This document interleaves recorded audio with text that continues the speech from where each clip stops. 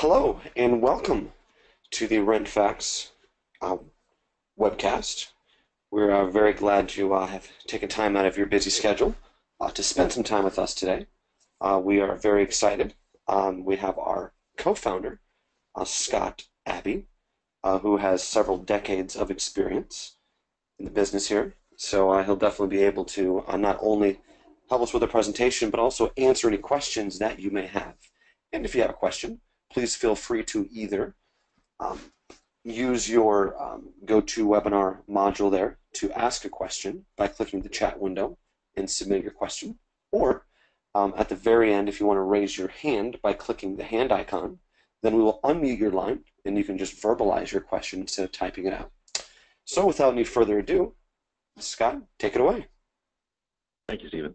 Well, hello, everyone. I'm glad you're here. Thank you for taking time out of your Friday to uh, chat about uh, properties you'll love. Uh, look, just a quick background. I've been in the property management business for 25 years. I've been assisting clients in building wealth through real estate. And one of the missions that we have in our practice is to help assist uh, clients understanding what kind of properties they want to buy.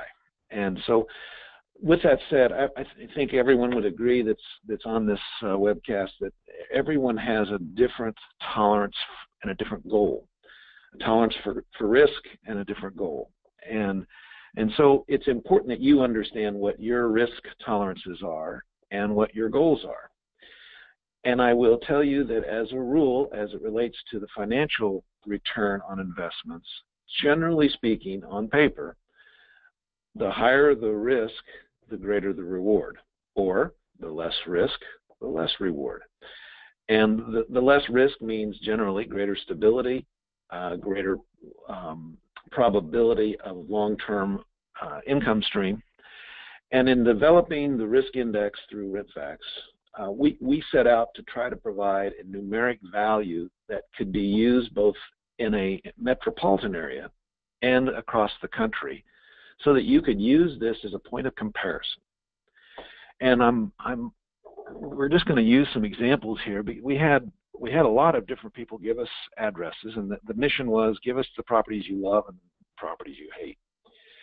And of those, the majority of them followed the pattern that we would have expected to see, where the properties that were loved were those with the higher risk index number, and the properties that were hated were those with the lower risk index numbers. And it's, it's true of just about all the samples we have. There are a few exceptions, and we'll talk about those. But what's important is, is that you get some practice in understanding what works for you.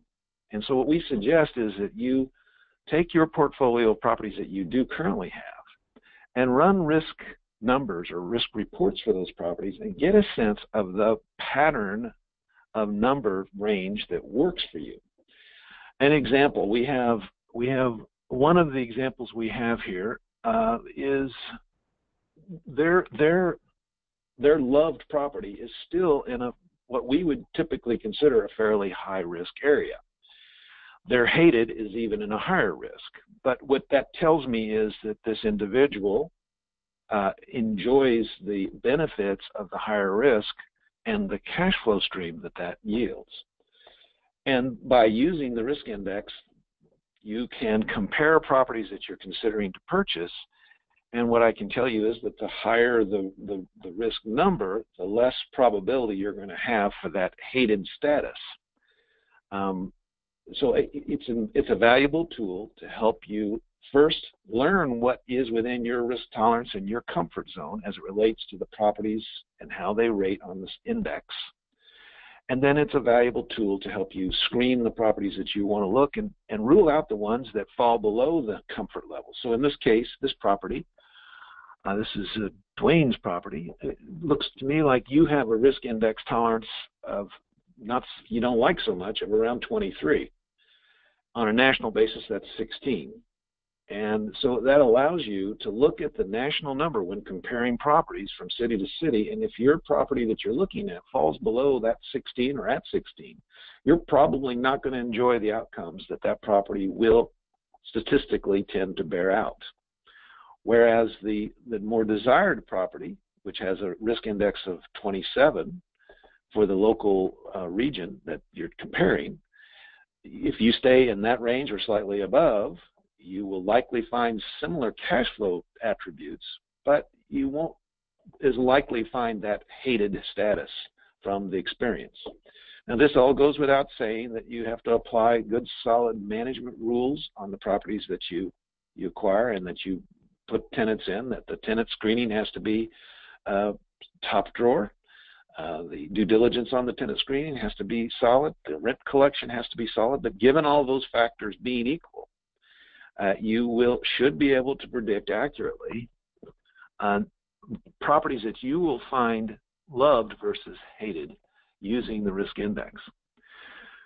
The, uh, the more obvious examples we have, Doug has two properties, and both properties fall as we would have expected. A love index number of 41, and that's my sweet spot. I like to be at 41 to 65. Those uh, those numbers yield me in this market, Kansas City market, some of the best results I can find. So I like his love number of 41.6.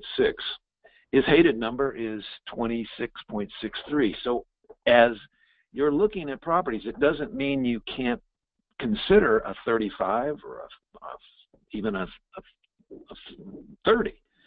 But you want to start being cautious as you go below your loved 41.6. Those as those numbers go down in value, the probability of hated status will begin to emerge as the numbers get lower and lower. And the, this this pattern that I've just described of Doug is is is true of most of the examples that we have. Now we do have one that's interesting, and so I, I called Stephen on this to make sure we didn't enter this wrong. We had uh, Nathan who had entered properties, and his loved property was a very high risk area, and his hated property was a property that I would put right in the sweet spot of the best investment. So I don't know if perhaps Nathan, you you enjoy the higher risk, better cash flow that yields from that, or if there was an error made in in labeling this. I do know that a lot of clients, uh, when they see when they get into the higher risk numbers, the yield that they return on the property is not to their expectations. Uh, a property with a 52 risk index, as is the case here, um, probably will not yield nearly as good of return as the property with the 21 index that he is claimed as loved. Now, I, I checked the, the uh, detailed risk report, and in the property that uh, you loved with the uh, 21, we I saw very high crime and very poor education attributes. So, you know, if those elements are not impacting your tenant base, and if this is a, a pattern that works for you, then by all means, this can be used uh, in the same way. As the numbers go up in value on the risk index, you should probably expect a correlating reduction in cash flow. Now, it's not always the case, but it is a guide to help you. If if these numbers, if these have been mislabeled, then the, the, the more traditional expectation would apply to this. So I, I just use those examples as a, a means of helping uh, kind of explain what we see here. I believe that with the risk index, you can compare multiple properties after you've understood where your where your hated and loved zones are from experience. Then you, when you go to seek new properties, running the risk report will help you identify those that will fall in the love category or more likely fall in the hated category and allow you to do your due diligence, particularly when you're looking at those numbers that fall in the hated range, to make sure you understand exactly what you're buying, that you provide enough purchase margin in the deal to cover some additional risks and losses that will apply to those properties and help you make deals that make money. So I, I don't want to run on here too long. I want to give the audience, we have quite a few people in audience, so I want to give the audience an opportunity to ask any questions they may have. So Stephen, I'll open that up to questions. Fantastic. And if you're wondering, uh, we not only are going to provide reports on the addresses that you provided. I will be emailing uh, those to you. We're also going to provide a promo code at the end of the webinar. I'm going to go ahead and email that to each of you as well. And you'll be able to redeem um, another report. Uh, we're going to go ahead and provide three free credits uh, for that. So we'll provide the reports that you um, submit the addresses for, and we will also provide uh, a promo code to redeem three credits. So we'll be getting both of those to you uh, shortly. So uh, if you have any questions, you can either uh, click the hand icon to uh, raise your hand, or uh, please feel free to type your question in the chat window. So our first question, this person says, I enjoyed the risk score. Where would I be able to find um, the report section to go ahead and purchase a report on your website? That's a good question. You just go to the home page and uh, you log you will create a login, and there once you have purchased credits, uh, there's a, a, place for you to enter an address. And there's two types of risk reports. There's a summary report and a detailed report. My general first pass is to take the summary report because it gives me a, a high level, low cost number. If I'm querying of greater depth, uh, and, and this is one thing I did on one of these reports that I looked at. I went ahead and pulled the, the, the detailed report because I wanted to see what was causing, what were, what were the influences that was causing the risk. And that detailed report will give you greater insight in terms of the crime, economy, uh, housing. What are the issues that are driving those issues down? And um, and then the other thing I want to remind you is that in addition to when you run either of the, the risk summary or the risk detail, you can then click to maps. And the map will highlight the area, the, the demographic area that's being reviewed. And you can see on the map where that fits. And what I did on one of the reports is I actually clicked on an address next to the, the subject house because I wanted to see the adjacent uh, demographic to see how the risk index uh, ref was reflected there. And in that, I found that the risk index was identical. So it, it's again, it's helpful if your if your subject property is at the edge of a demographic. It's sometimes wise to consider looking at the other demographic adjacent to it by simply clicking on a report, running a summary report, and it'll tell you the risk index for that demographic adjacent to it. And that's helpful, particularly if there's large disparity between the two, which is can be found in many many places where you have a you'll have a 50 and then a 30 side by side. And what you want to consider is is there's some bleed over of impact of the demographics as on the borders in particular. Okay, next question. This person says, is it very common for the property you hate to score higher than the property you love?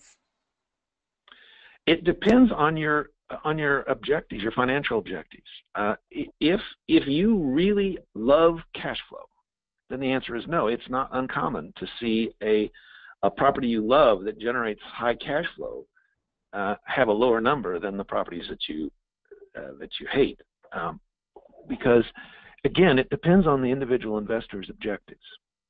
Now, it, it, in my practice, we typically tend to preach a, a conservative investment approach. And in when using a conservative investment approach, I have rarely found that a low number trumps a high number in terms of love hate.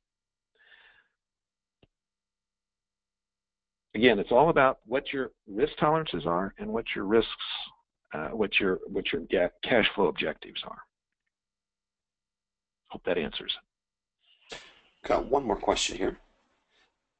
This person says, What is the magic number for me to accept a property to manage or to not? That is a great question, and I wished I could give you a silver bullet answer to it, but there isn't. Um, I can tell you that for my practice, we we have two different property management agreements and I use a high, I call it a high risk agreement and a lower risk agreement. And the number I use is 35. Anything below 35, I score as high risk and I charge a greater premium for the for the effort because to manage higher risk properties with lower numbers requires a greater bandwidth of the management effort. And so it's critical for a, either the investor who's hiring a manager or the manager himself to recognize that to manage well in higher risk areas requires greater energy. And from a management's from a manager's perspective, that uh, means you have to charge more. Each market is a little bit different, and again, as a manager or an investor, your tolerance for risk and effort uh, varies. Uh, but I think 35 is a really good number to consider. I will also tell you, and, and this will, you'll find this as you use this tool more. The demographic that we're looking at is the smallest measurable demographic that's available to us in terms of data acquisition. But even within those small demographics, there are micro neighborhoods. And so you can have a lower risk neighborhood that has a micro, very positive street or series of streets. And classic examples of that are properties that are adjacent to schools, properties that are adjacent to churches, properties that are adjacent to uh, uh, commercial areas that are um, highly used and lots of security in those areas. So even in a low risk area, you can find uh, higher, better results because of the, the immediate proximity of development around the subject property. Hope that helps. Fantastic. That looks like all the questions we have for today. And again, if you uh, have any questions, you could either um, raise your hand now, type in a question now, uh, just for the next few moments, or if you have a question offline, please feel free to email us at support at rentfaxpro.com. Again, that is support at rentfaxpro.com. We will be emailing each of you a report on the addresses you provided. And I will also be emailing you shortly a promo code to use uh, to redeem three free credits uh, to run a report um, on any uh, other properties you would like. Thank you again for your time. We do appreciate you uh, joining us on today's uh, webcast. Uh, Scott, any final words? No, I, I, am happy. We're happy to answer any questions. If you have a specific issue that you'd like to chat about, uh, let us know. We'll be glad to reach out to you and talk to you about it. See how you can use this this tool to help you benefit in your in your investing or your management of property. We'd be delighted to help you with that. I wish you best investing. Fantastic. Thank you all again for your time. And uh, if you have any questions, feel free to reach out to support at rentfaxpro.com. Well, until next time, talk soon. Have a great weekend. Thank you. Bye bye. Thank you.